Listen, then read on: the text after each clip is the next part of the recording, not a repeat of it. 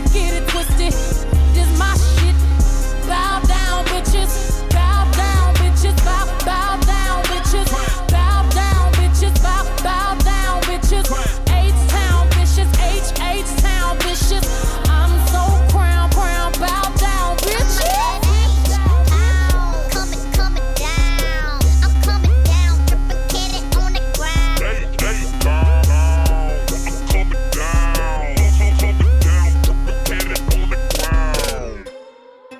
We teach girls to shrink themselves.